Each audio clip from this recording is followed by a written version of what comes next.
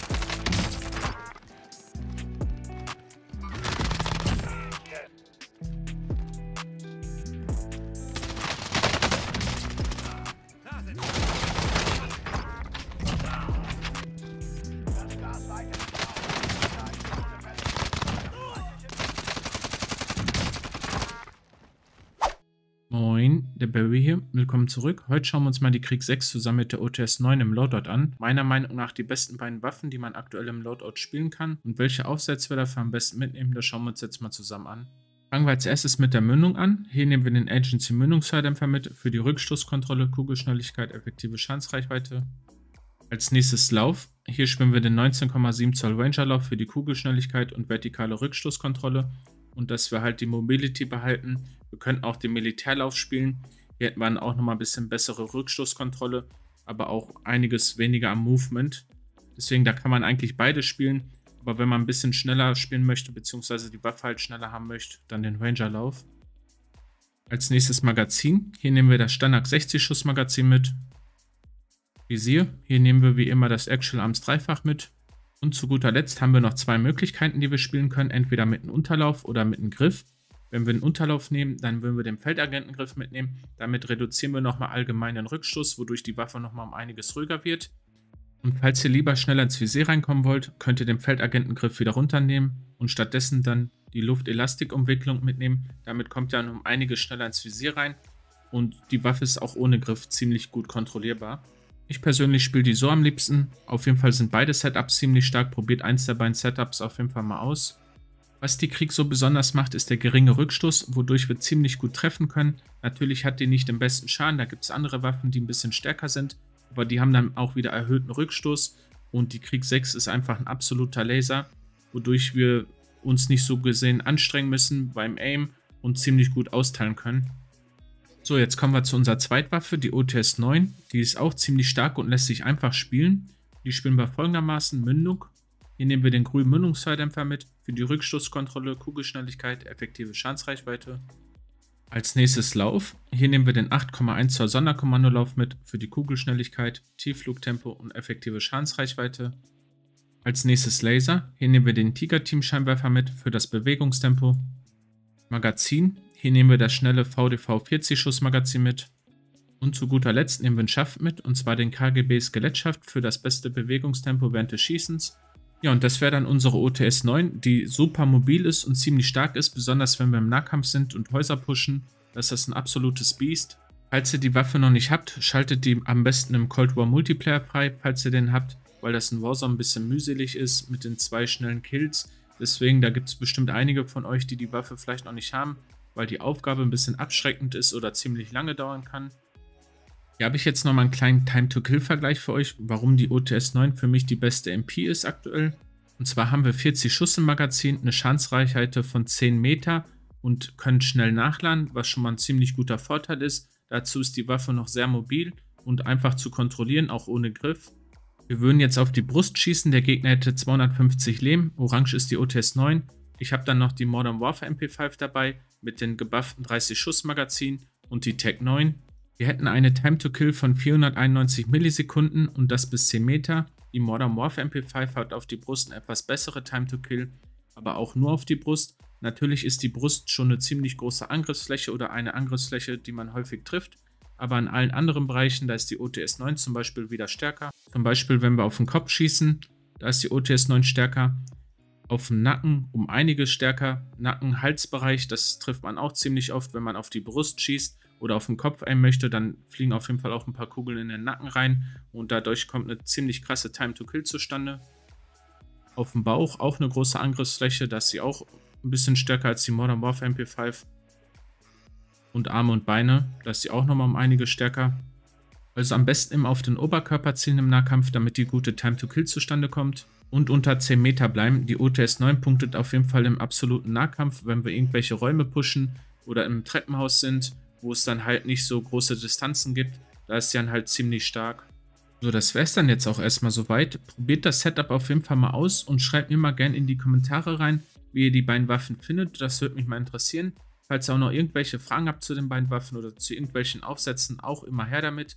Jetzt im Anschluss kommt noch ein bisschen Gameplay. Da könnt ihr beide Waffen noch in Action sehen. Schaut euch das gerne noch an. Und falls euch das Ganze hier gefallen hat, würde ich mich über ein Däumchen nach oben freuen. Und ich hoffe, wir hören uns beim nächsten Mal wieder. Haut rein. Tüdelü.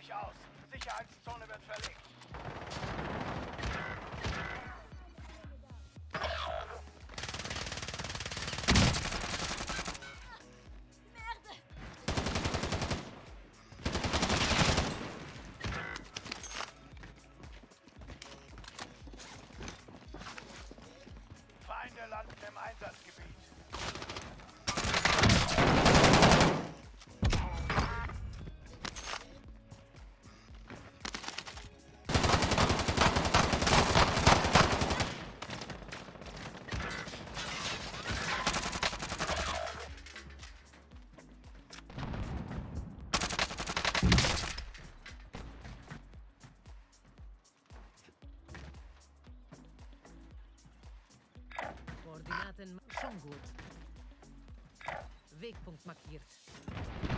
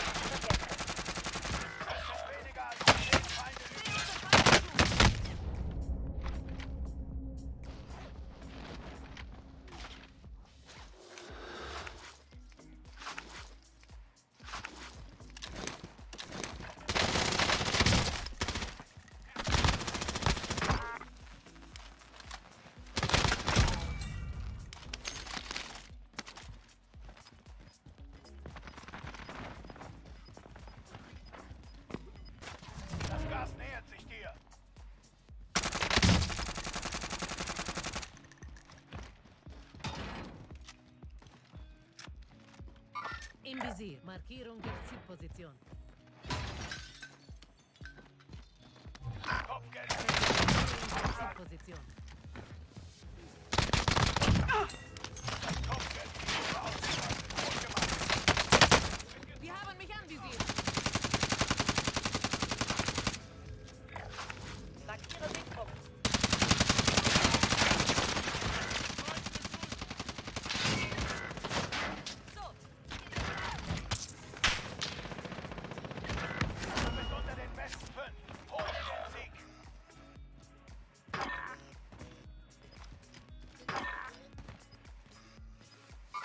Bewegt sich was.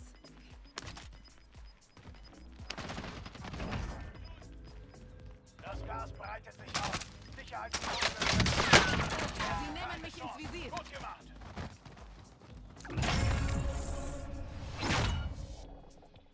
We'll be right back.